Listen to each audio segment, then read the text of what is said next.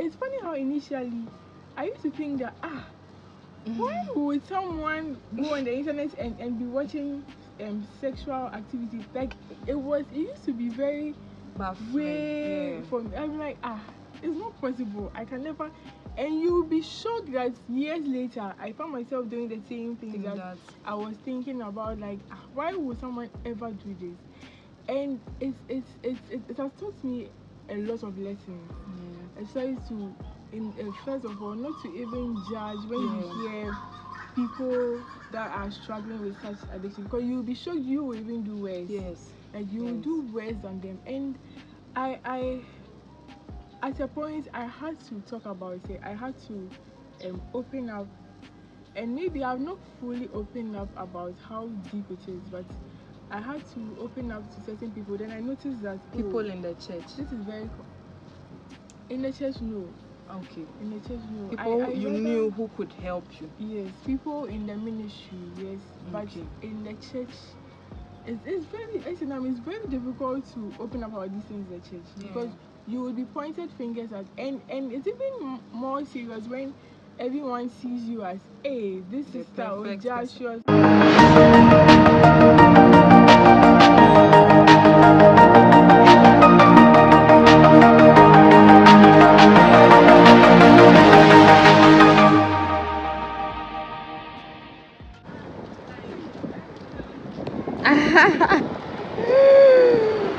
The man's fine finest Oh, right there. good to see you See you too. Hi guys, welcome back to my YouTube channel, The Mental Health Quarters.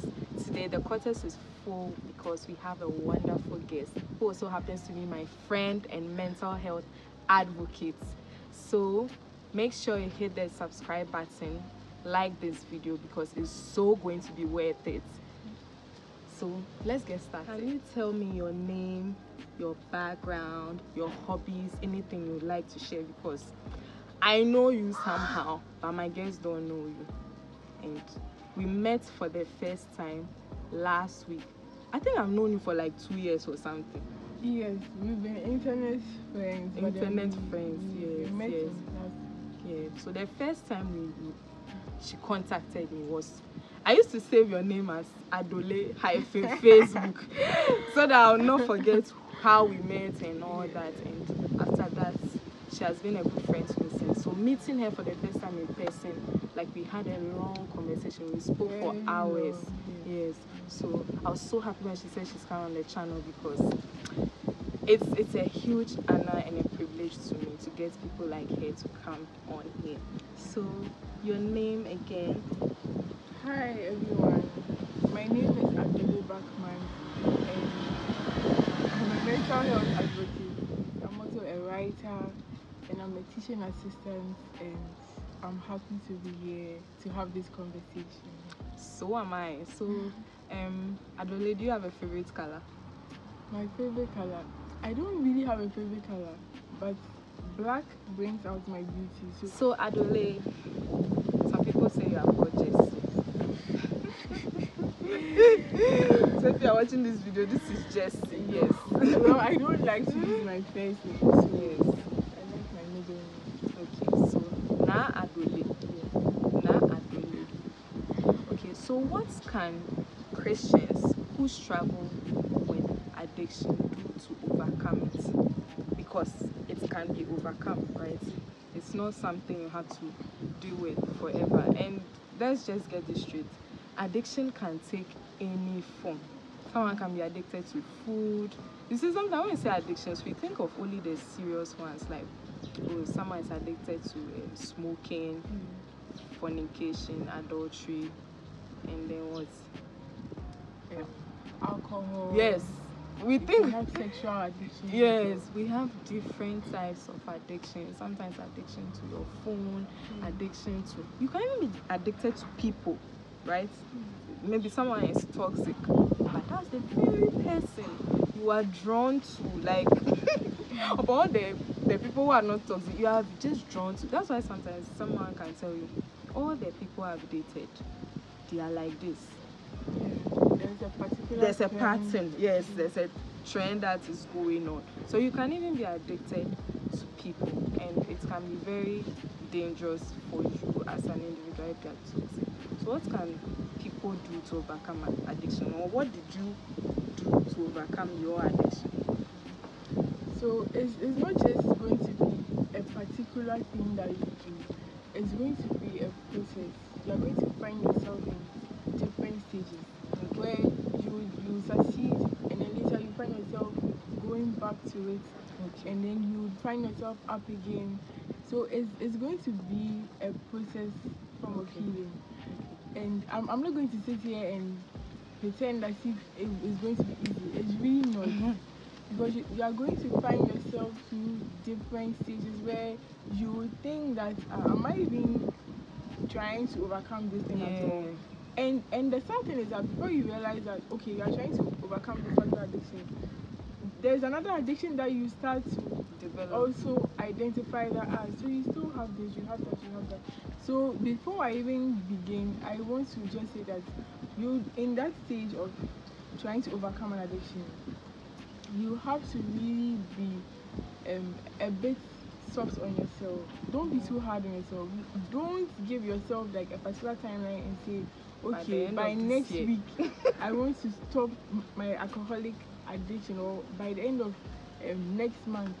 Even though it's good to give yourself those things, but it, in a way it can lead you into even falling back into it much more Deeper. deeper and stronger.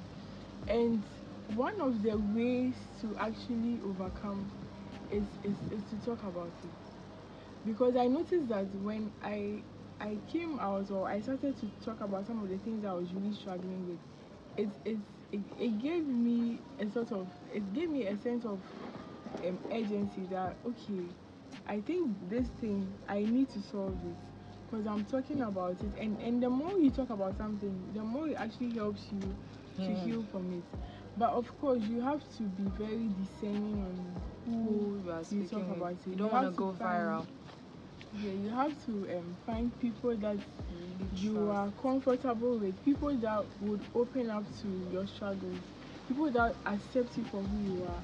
Mm. Then you can talk about them.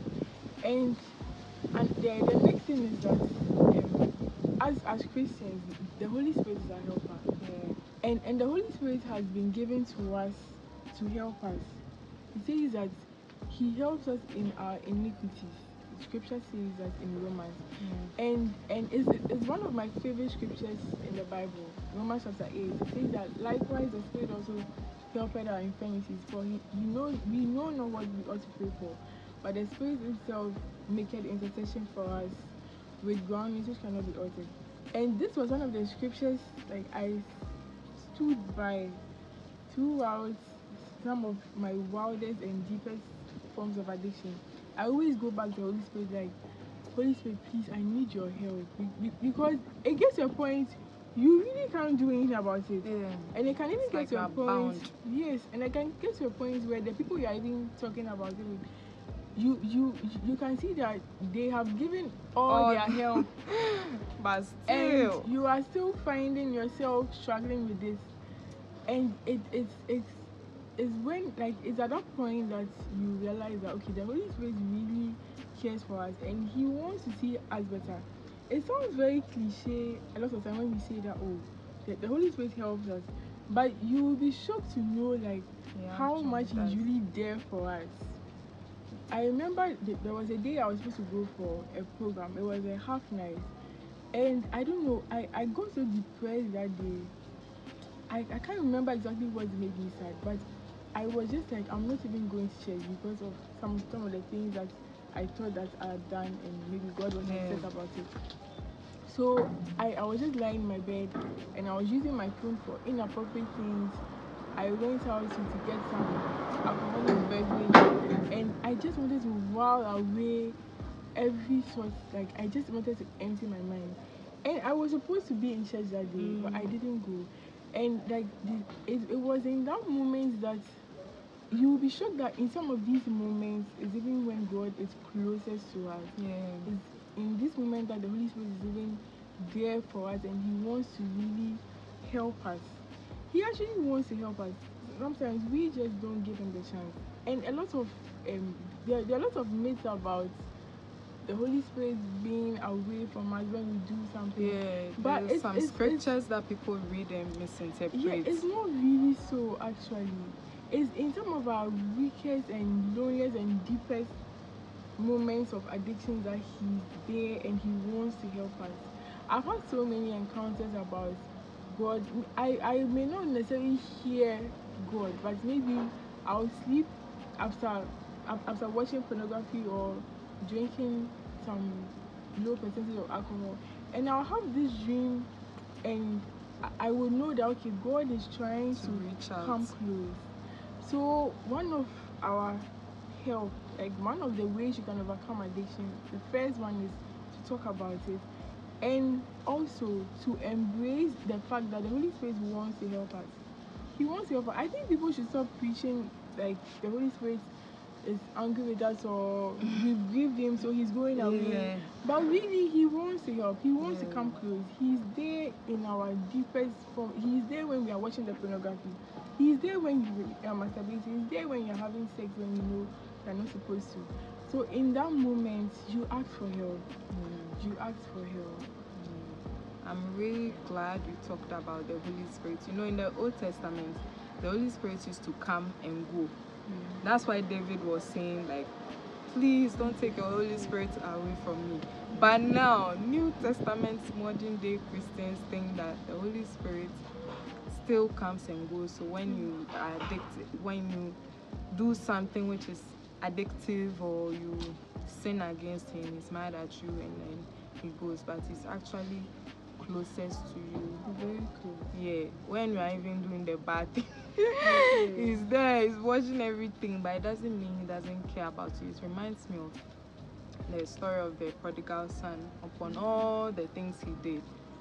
You know, when he came back to his father's house, I think it's the father who ran Yes, first. the, the father saw him Papa, and he ran and met him. So that's how God has always been. He will leave the 99 and come to the one who left.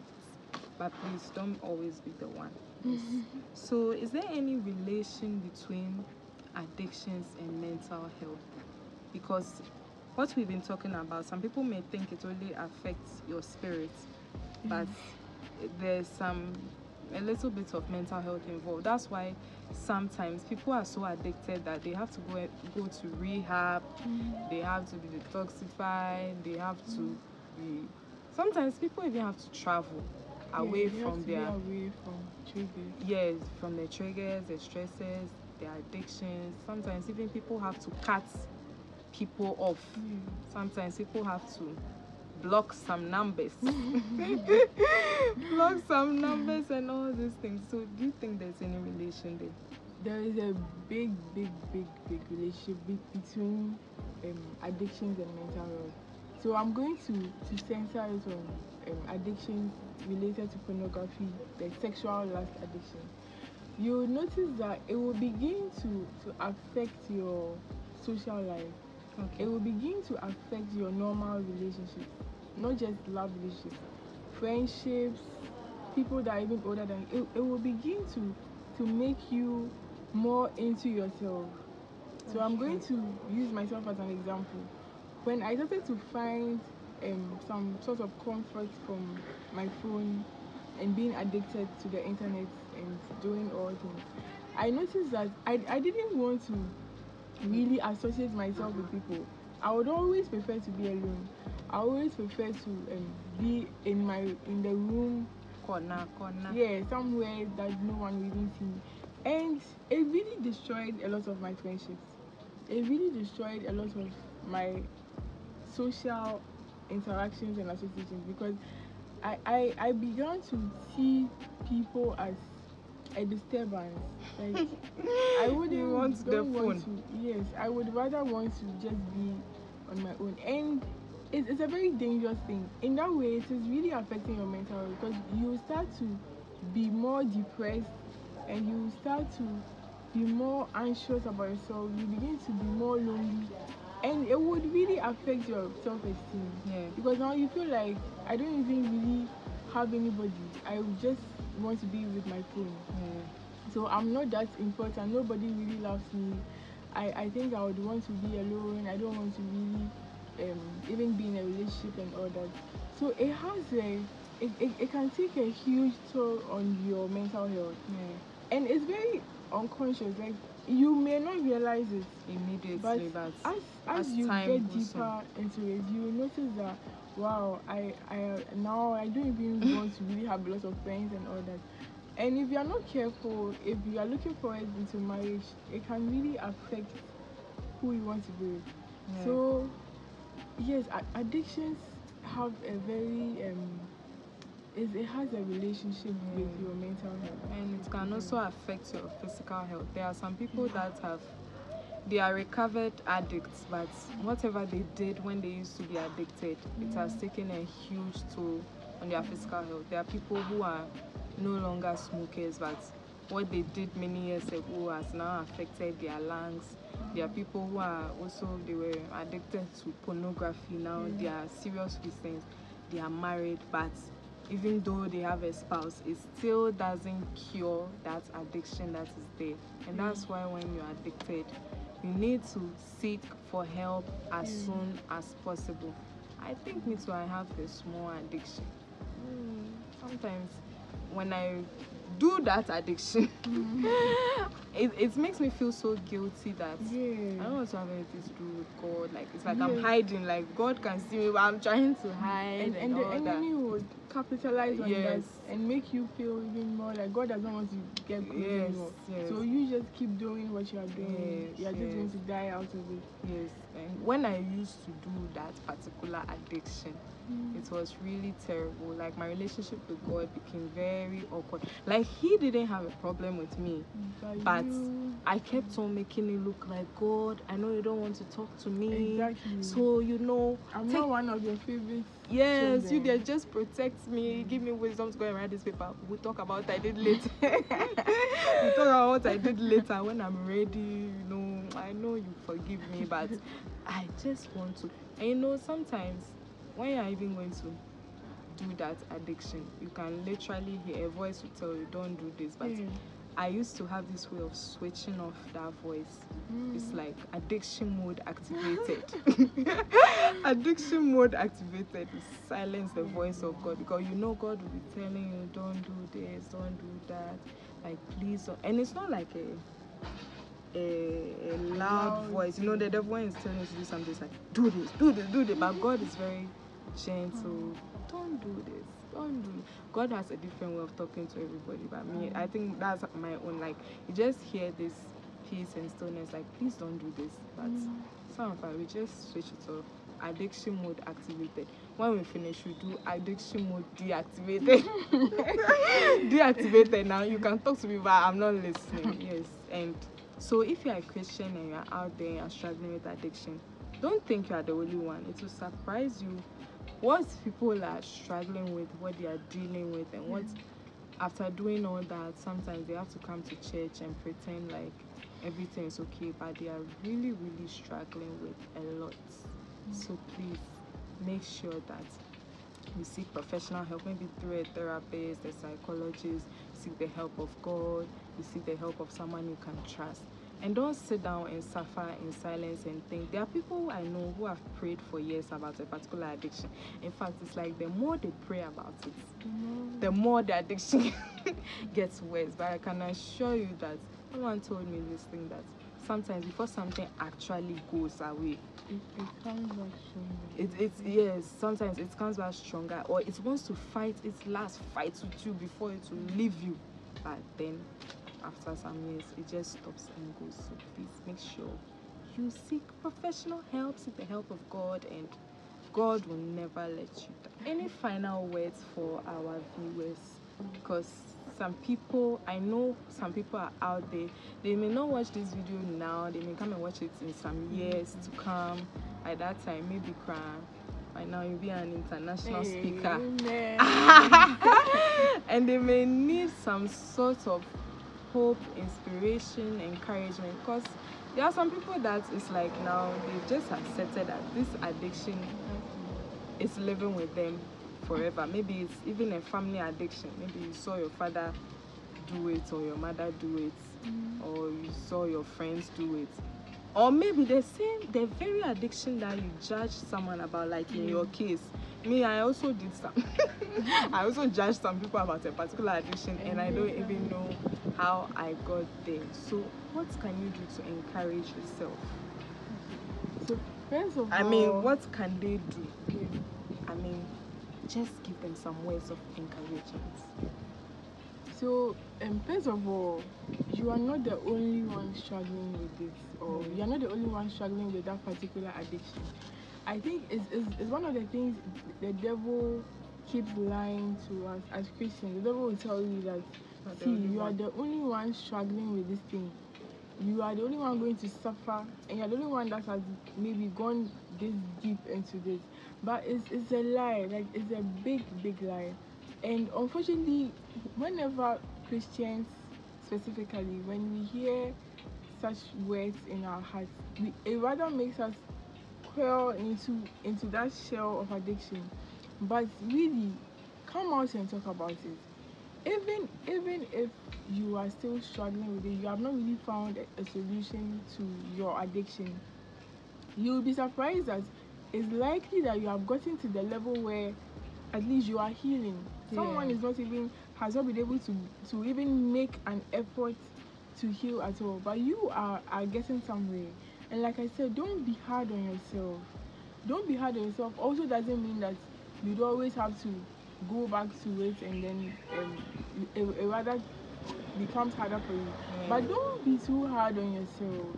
Don't be too hard on yourself. Accept that yes, this thing is a struggle for me. This thing is is is really eating me up. I'm struggling to stop this. But in as much as you are struggling to stop it, don't be so hard on yourself about it. Take one step at a time. If you have to go for therapy, please do. If you have to seek um, a, a professional advice, if you have to seek a pastoral advice, please do. And make sure that you are also making an effort to cut off the, the things that um, is making you addicted. So there are sometimes I'll just go off social media because I know that I'll go on social media, I'll go on YouTube and go and see a video and it will take me back to a pornography site. So try to make an effort. Try to at least you are helping yourself out of it. Even if you fall back into it, get up again. Rise again. There is always another day. There is always another hope for you. And and and I also want to um, send out a lot of love and prayers to those that are struggling with addictions. And maybe you have not yet struggled with it. It's possible that you will think that oh me dear i will not get any addictions in jesus name. Yes, Yes. we all said that. But you will be shocked that some way somehow some addiction is waiting for you somewhere. Yeah. and this is the time to also pray into it. Pray that you don't fall into certain temptations pray that the lord will give you um, good friendships that, that will sustain your christian life pray that you you will not fall prey to the enemy's devices and the Yeah. enemy's schemes Yeah. and most importantly your addictions is not you Yes. you are still a child of God. As, as cliche as it sounds, God still loves you. The Holy Spirit is still your helper. He's still your comforter. All of us, He's still the one that is abiding with us. And even if you are struggling in your addiction, still believe that God is with you. Still believe that the Holy Spirit wants to help you and is helping you. And try to block all the enemy's lies from your head that you will not you will never come out Yeah. of alcoholism, you will never, Never come out of sexual lust. You can and you will. We are all in this together. We are all fighting this Christian work. The Christian work is not easy. Yeah. It's so difficult. It's full of a lot of distractions, Yes. especially in this 21st century. It's worse. So I, I really want you to accept it, accept your vulnerability, accept your weakness, accept your addictions, and ask for help. Ask human beings for help. Ask God for help. Try to make the effort, and gradually we shall all overcome. I'm glad you said that. And when Adoley says accept your addiction, she does not mean accept that it is there with you forever. Accept that it is a problem mm-hmm. which you need to deal with, get rid of. Accept that you can overcome it. Accept that God is there to help you through it also. Accept that you can be free. It's like acceptance it helps It, a lot really helps. with yeah. healing even It in my own. Mental health journey when i decided to accept that there's a problem Mm. and i need to take medication for it i need to do therapy i need to go for a review appointment i need to accept that i'm not like everybody else now it's really made a difference in my healing and so Adoley, I thank you so much for coming to the mental health quarters. We hope this is not your first and last. No, I'll be coming more Ah, and more and more. This video is evidence that she said she will come more and more. So what are you waiting for? Please make sure that you subscribe, you like, you share. Share to all your WhatsApp groups, share to all your pages. Like feel free to share. I've I've realized that look, sometimes you never know how a video is going to help someone. yes. Sometimes people are dealing with stuff, they never talk about it, but they mm. will hear something. And I hope that anyone who is addicted will be really set free from their addiction. I always say you have to combine your faith with the physical. So Mm. whatever you are doing spiritually to get rid of your addiction, make sure that you are also doing um, the physical ones like the therapy and all that, and you will be free. There are people who have shared testimonies of their freedom from addiction. I even know a stripper. I follow her on YouTube. Maybe I'll put her link here. She's now married, serious Christian, and she's encouraging other people who are addicted to the porn industry and mm. all that to be set free from this addiction. So we are not alone. One day, me too, I will share my addiction story. Thank you so much, Adoley, Thank for you, opening up your soul and telling us your story and your journey and what we can do to be set free. I really, really appreciate it. Thank you. Make sure you come back. I will. Thank you.